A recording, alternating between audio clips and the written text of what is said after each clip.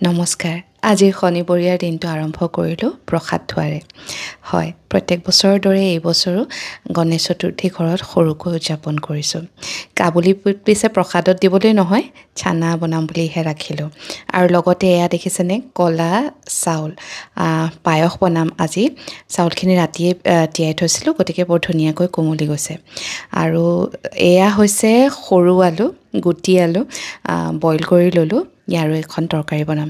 চাউলখিনি পিছে পায়স বনোৱাৰ আগতে মই দুটা হুইচেল মাৰি সিজাই লওঁ যাতে পায়সকণ বনাওঁতে বেছি সময়ো নালাগে আৰু খাবলৈও সোৱাদ হয়। নহ'লে কেতিয়াবা কি হয় চাউলখিনি মানে ভালদৰে নিসিজে।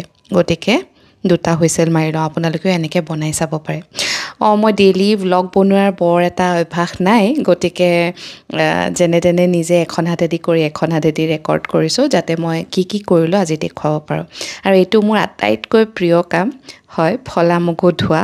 সৰুতে মায়ে শিকাইছিলে খৰাহীটো দি এনেকৈ ঘূৰাই ঘূৰাই মগুখিনি ধুব পাৰি। আৰু মায়ে বৰ ধুনীয়াকৈ শিকালে আৰু হয়তো ময়ো ভালদৰে আয়ত্ব কৰিব পাৰিলোঁ। সেয়েহে মই গৌৰৱেৰে ক'ব পাৰোঁ যে ফলা মগুখিনি ধুনীয়াকৈ ধুব পাৰোঁ।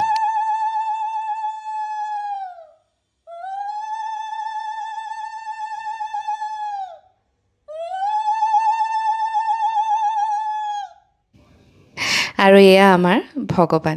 আজিৰ দিনটোৰ কাৰণে আমাৰ ঘৰত স্থাপিত কৰিলোঁ।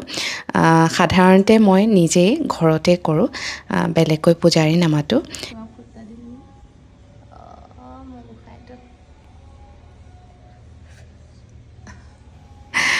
অঁ মানে ভগৱানে দায় দোষ নধৰে বুলি ভাবিয়েই নিজেই নিজৰ মতেই কৰোঁ যিমানখিনি পাৰোঁ। আৰু ভগৱানে ভাল পোৱা মোদক লাডু লগতে আৰু কেইটামান মিঠাই। এনেদৰে সৰুকৈ থাপনাখন পাতি লৈ আমাৰ পূজাৰ কাম আমি আৰম্ভ কৰিলোঁ। আৰু যিটো মুহূৰ্ত আছিলে নেটতে চাই লৈছিলোঁ সেই মুহূৰ্ত মৰ্মে আমি কামখিনি আৰম্ভ কৰিলোঁ।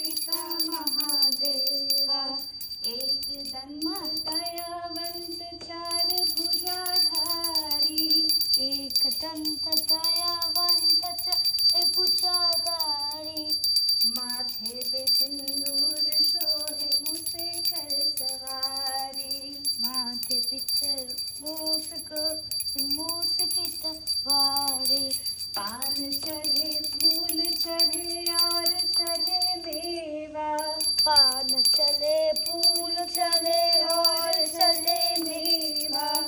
लड्डुअन का भोग लगे, संत करे सेवा। लघुअन का भोग लगे, संत का सेवा। जय गणेश जय गणेश जय गणेश देवा। जय गणेश, जय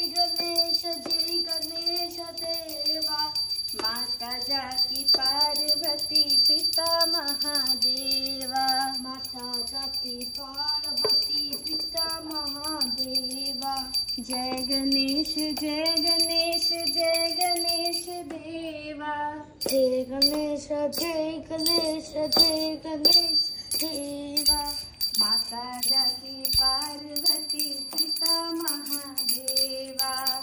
माता जाकी पार्वती पिता महादेवा। गणपति बाप्पा! मोरिया!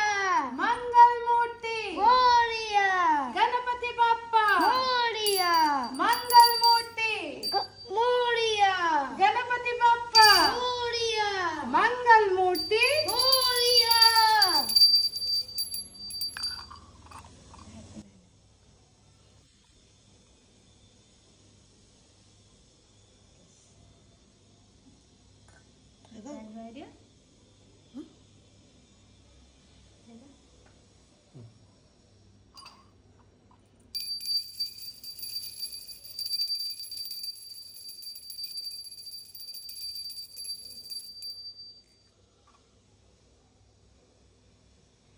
এই দুটা আঙুলিত ল'বা ফুল লৈ পেলাই এই এই বুঢ়া আঙুলিটো দি এনেকৈ ফুলটো ঠিলি দিবা।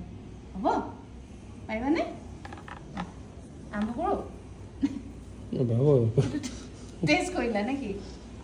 স্পাইডাৰমেন গণ- গণপতি নমঃ। ওম গণ গণপতি নমঃ। এনেদৰে আমি এশ আঠবাৰ ফুল অৰ্পণ কৰিলোঁ ভগৱানক।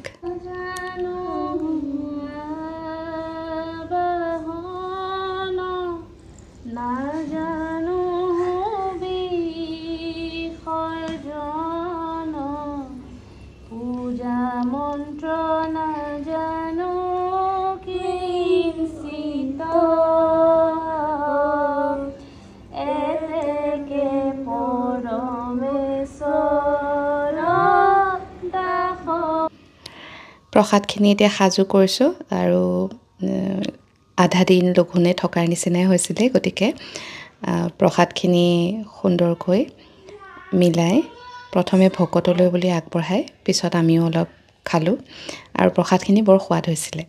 লগতে এয়া বিটৰুটৰ পুৰি আৰু এই কাবুলী বুট যে তিয়াই থৈছিলোঁ তাক পনীৰ দি বনালোঁ আৰু এইখিনি ক্ষীৰ আৰু আলুৰ এটা ৰচা বুলি কয় এই ৰেচিপিটো বনালোঁ।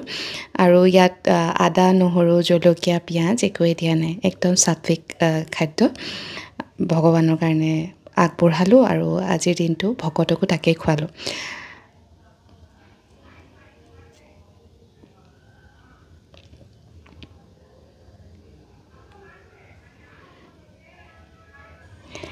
এয়া পূজা শেষ হোৱাৰ পাছত দুজনমান ভকত আহিছিলে মানে আমাৰ বন্ধু বান্ধৱী আৰু তেওঁলোকৰ দেউতাক।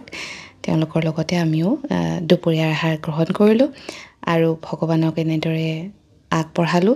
কি জানো নাজানো বৰ এটা জ্ঞান নাই। তথাপিতো এটা বিশ্বাস মনেৰে কৰিলে ভগৱানে আঁকোৱালি ল'ব। সেয়েহে ঘৰতে প্ৰত্যেক বছৰে ভগৱানক এদিনৰ কাৰণে স্থাপন কৰোঁ। গণেশ চতুৰ্থীটো মোৰ বিৰাটেই বেছি প্ৰিয়। আৰু বছৰটো ৰৈ থকাৰ নিচিনা হয় তেওঁৰ কাৰণে। কেতিয়া আহিব কেতিয়া তেওঁক এদিনৰ কাৰণে আমাৰ ঘৰলৈ আনিম। আৰু এয়া আমাৰ ভগৱান। আশা কৰোঁ ভগৱানে আপোনালোকৰ জীৱনলৈকো সুখ আৰু সমৃদ্ধি কঢ়িয়াই আনক। এই আশাৰে আজিৰ এই ভিডিঅ'টো ইয়াতে সামৰিছোঁ।